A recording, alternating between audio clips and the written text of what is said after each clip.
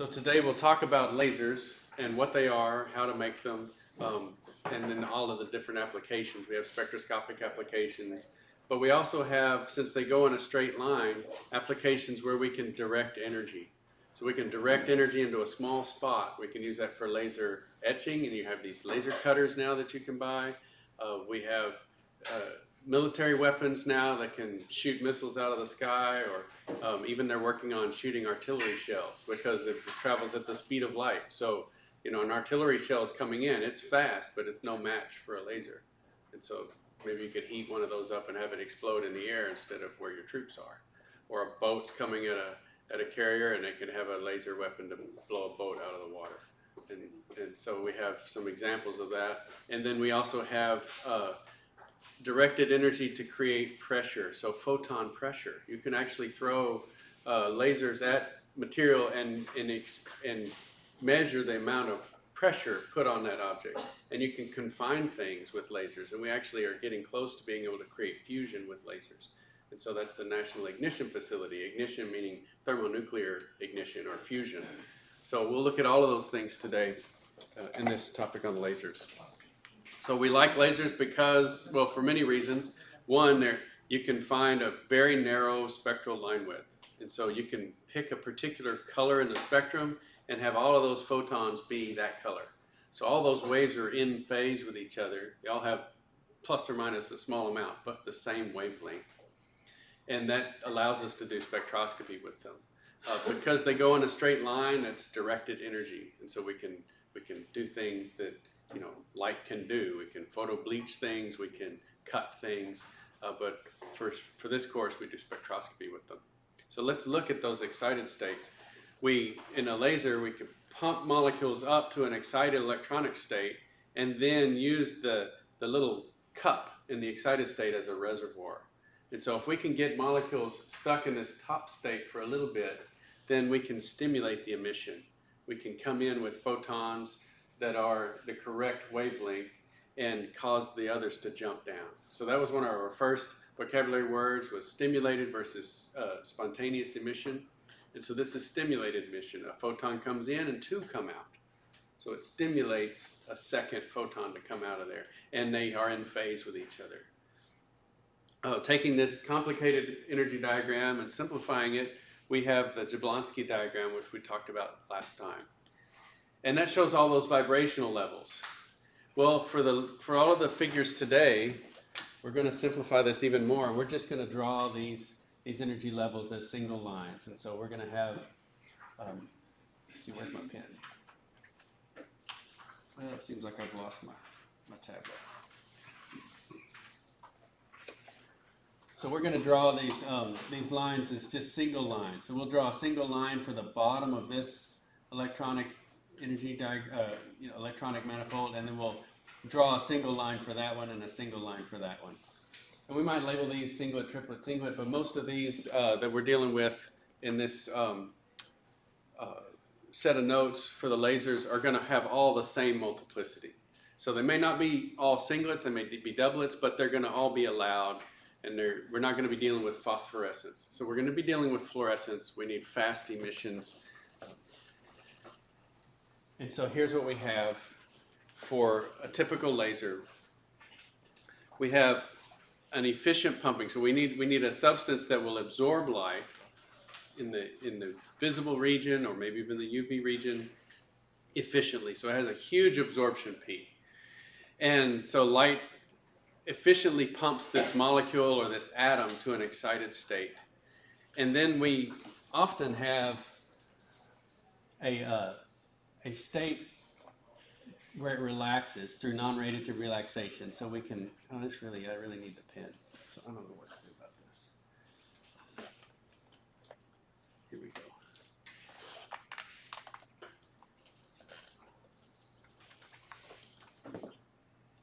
Yay, okay.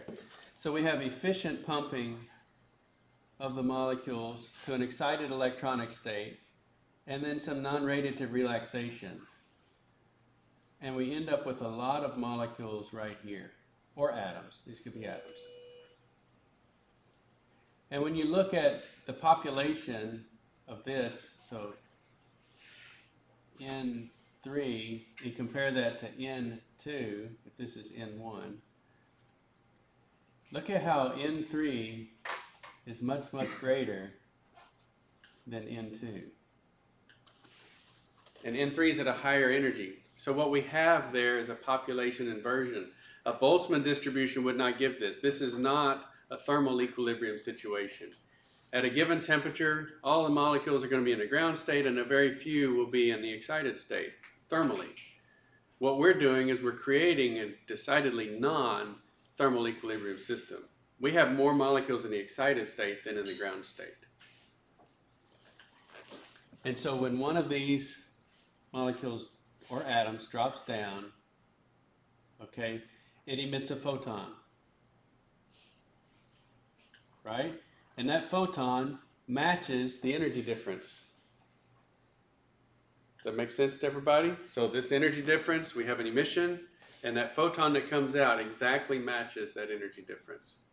And there are a lot of other atoms in that excited state that can interact with that photon. So the first one might be spontaneous, but then all the others are stimulated. So that sec that first photon that comes out can stimulate the emission of all the others. And so then this one drops down because of the stimulation of that photon, and now we have two that are in phase with each other. And so that's amplified. So that's the amplification that we're talking about.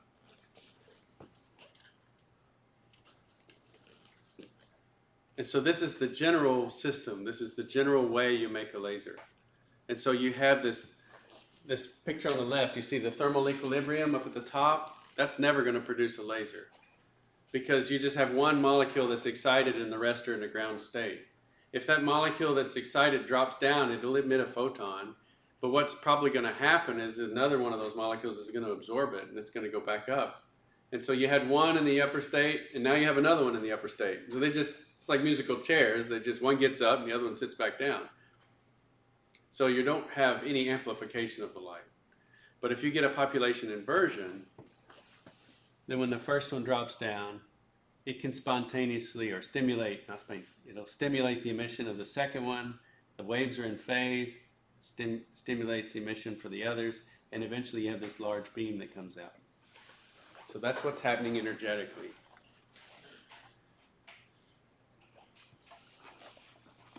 Practically, sort of engineering, if you're going to make one of these, you need a gain medium. That's what this one is. It's the gain medium. And that's what has the, the material in it that's going to produce the laser. And so for uh, really common lasers, we'll see there's the neodymium atom. Neodymium atom has a certain set of energy levels that allows it to laze. And so you'll have a, a, like a garnet crystal, so just like the gemstone garnet, but you'll take the atoms out, you'll actually grow a garnet crystal structure with yttrium and aluminum in a garnet crystal structure, and you'll dope in a certain percentage of neodymium. So you'll have a neodymium doped yttrium aluminum garnet crystal. And you can grow this as a perfect crystal and then cut the rods and then put it in here as the gain medium. If you shine light on that, so this pumping energy. So a flash lamp or some bright light shining on that gain medium, you will get those neodymium atoms up into that population inversion. So you'll excite them with visible light and they'll be ready to go. And then you have this stimulated emission happening and you have a, a, a high reflector like a 100% mirror in the back and then a, a partially silvered mirror or a mirror with a tiny hole in it in the front. And so the back is the high reflector, the front is called an output coupler, but it sets up a resonant cavity. So most of the light is bouncing back and forth inside this gain medium and stimulating emission.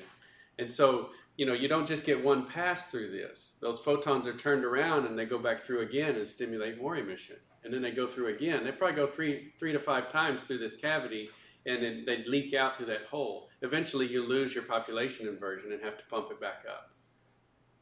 Okay. Um, you can have these run in continuous mode where you're constantly supplying visible light, but then you've got the um, you've got the mirrors such, and maybe even you put in uh, some sort of uh, grating or, or whatever to, to, to keep just one particular laser line coming out. and then you have uh, the laser coming out, but you're pumping visible light in. So you can have uh, a lot of different arrangements. But it, these are the general pieces. You have the gain medium, the pump light, and the resonant cavity with these two mirrors.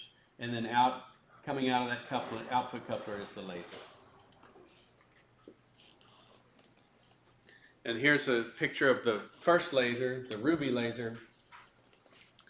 Notice that curly spiral thing, that's, that's blown glass, and it's just a, a like a arc lamp.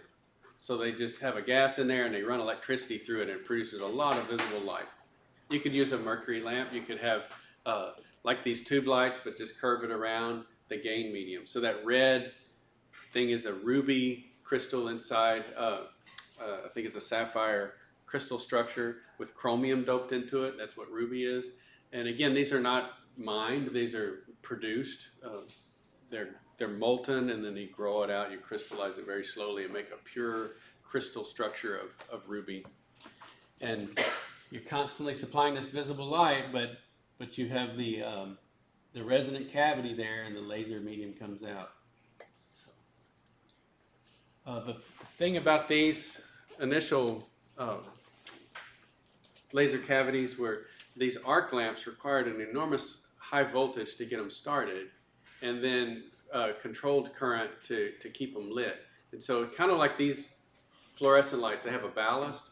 So you have to have a high voltage spike at the beginning to get it started, but then the resistance drops dramatically. So you have to have that high voltage shut off, and then you run a certain controlled current through there to adjust the brightness. Um, all those electronics were pretty bulky, and it generated a lot of heat. So original lasers uh, had these huge power supplies that were, you know, the size of a washing machine, full of, you know, high power electronics, and they had to be water cooled. So then you had water hoses running over to the sink, and you constantly, if you're going to have a water cooled system, you're going to have leaks, and you're going to have water leaking everywhere, and it's a big pain. I hated working with these bulky lasers, mainly because of the water system. Uh, the water evaporates over time in the reservoirs. You got to refill it. it.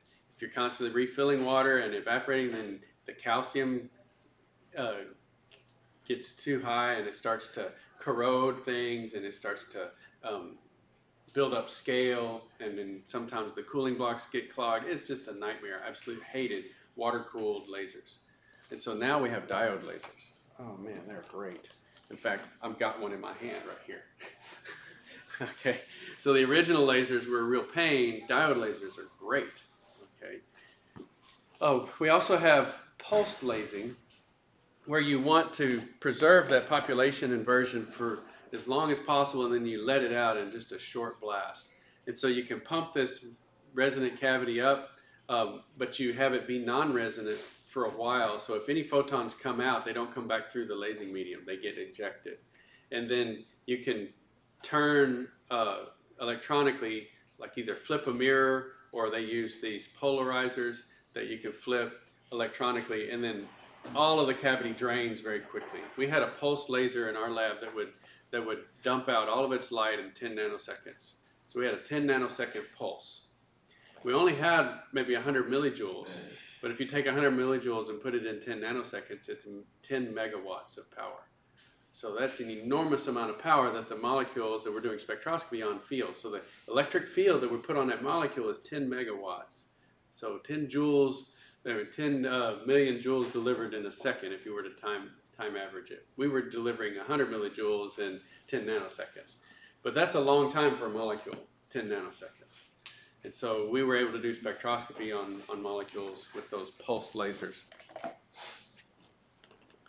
Now we have these diode lasers, and this is sort of the cross section of a diode laser. They, they deal with uh, doped material.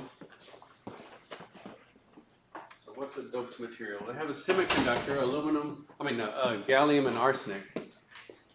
And then you can take that gallium arsenic semiconductor and you can replace some of the gallium ions with aluminum ions, and you can create positive sort of uh, electron holes. And if you dope it with um, um, an element that has a few more electrons, like dope it with germanium or even selenium, then you're putting extra electrons in that crystal structure. So you can have a crystal structure that has a few extra electrons, and you can have a crystal structure that has a few less electrons, and you have this hole and electron set, you know, set up, and that's how our light emitting diodes work. So we can tune, basically, we're tuning that homo-lumo gap by using this doping. Uh, we can even drive protons. See, this is P uh, p doped gallium arsenic. So we have proton beams. We can make this semiconductor, and we can drive photons or protons in there and create crystal uh, dislocations. And again, tune that that homo-lumo gap, so we can find the the wavelength of light that we want.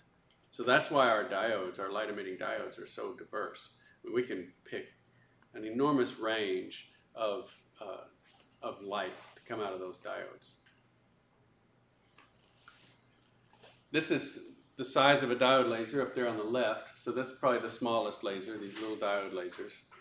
And you can see it's compared to a penny. Okay, so it's pretty small. And then this, uh, this building that I'm showing here, that's the largest laser on Earth. Not the most powerful, but it's, it's the largest. Okay, and if for scale, you can see these guys right here. okay, so there's one of the workers for scale. Yeah. Now this is a picture of the National Ignition Facility. And so this room is about the size of a football field, and there's two of them. Okay. And it starts with that diode laser. So let's watch, let's ride the beam line. Okay. I'm going to stop the video um, because I don't want to get copy strike.